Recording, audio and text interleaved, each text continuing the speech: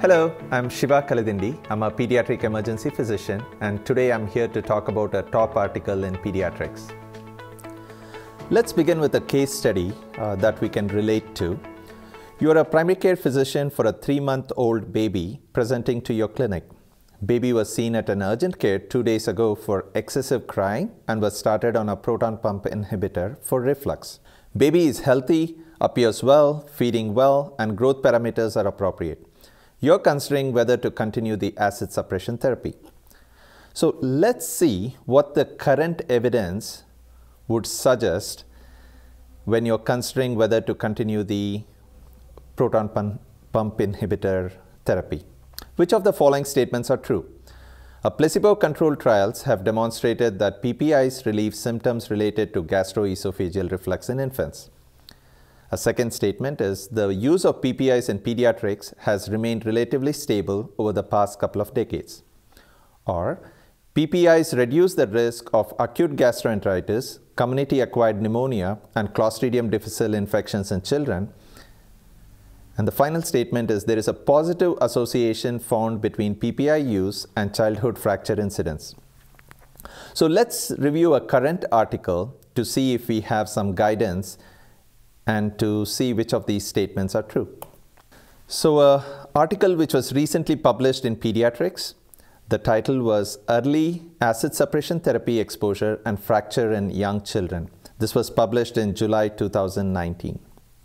Why is this important? So, we know that acid suppression therapy, including proton pump inhibitors, the H2 receptor antagonists, are commonly prescribed for treatment of gastroesophageal uh, reflux disease.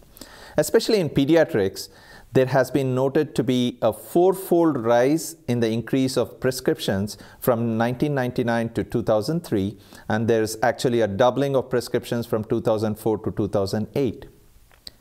And we also know that in adult studies, PPIs have been associated with decreased bone mass and increased rate of fractures. However, it's unclear whether this is true in infants and children, or there's limited literature in this regard. So that brings us to the question, what is the association of acid suppression therapy use and fracture risk in otherwise healthy infants given the high prescription rates in this population? So let us see how this study was structured. So for this study, a retrospective cohort of children born between 2001 and 2013 were considered. So there were about a million kids that were eligible for this study uh, the database that was used was the military healthcare system. The intervention of interest was the children that were prescribed proton pump inhibitors or and H2 receptor antagonists during the first year of life. And the comparison group were children who were not prescribed any acid suppression therapy during the first five years of life.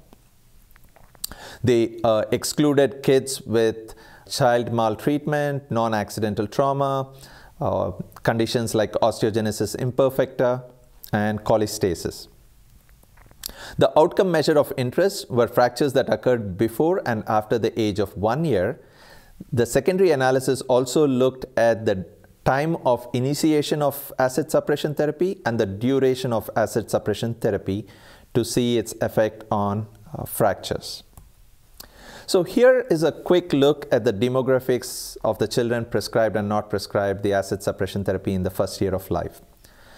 As you can see, there were about 850,000 kids that were enrolled in the study, out of which about 100,000 kids received acid suppression therapy in the first year of life. And about 750,000 kids did not receive any acid suppression therapy in the first year of life. And here are the results. It was noted that there was an increase in hazard risk ratio for fractures in kids who received PPI use or were prescribed uh, proton pump inhibitors or a combination of proton pump inhibitors and H2 receptor antagonists. And when it was plotted on a graph, where the cumulative incidence of fractures was plotted ac across the number of years, it was noted that there was a clear increase in the risk of fractures in kids that were prescribed proton pump inhibitors or a combination of proton pump inhibitors and H2 receptor antagonists.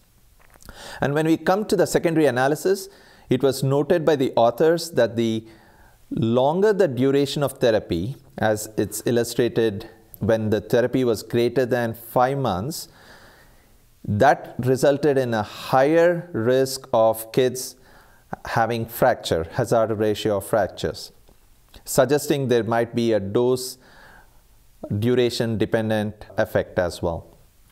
And so was the case when both H2 receptor antagonists and the PPIs were used. And when the time of initiation of therapy was considered, kids that were started on therapy in the first six months of age were noted to have a higher hazard ratio of having fractures in that group as compared to when started later in their infancy. So that brings us back to the case study where you were considering whether you need to continue acid suppression therapy or whether you would consider acid suppression therapy. We know that placebo controlled trials have demonstrated that PPIs do not relieve gastroesophageal reflux in infants. Many a times, the physiologic newborn reflex and crying uh, sometimes may be inappropriately treated with acid suppression therapy. We know that the PPI use in pediatrics has significantly increased over the past few decades. And studies have shown that PPIs actually increase the risk of gastroenteritis and community acquired pneumonia and Clostridium difficile infections in children. However, this recent study among a large group was noted to be a positive association found between PPI use and childhood fracture incidence. So let's see as to how is this relevant to practice for your practice. So the study findings in a study of almost million children, acid suppression therapy during the first year of life was associated with increased fracture hazard in children. Fracture hazard increased with duration of acid suppression therapy use with and with younger age of initiation of acid suppression therapy, either with PPIs alone or in a combination of H2 receptor antagonists. So how is this relevant to practice? While it might be perfectly reasonable to consider acid suppression therapy in kids who are having significant gastroesophageal reflux disease, practitioners should be aware of the potential for fracture when considering treatment as compared to using utilizing lifestyle changes or wakeful watching.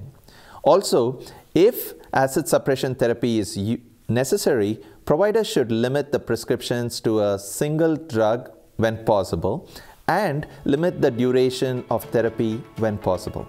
Thank you, and I hope you find this information useful in your practice.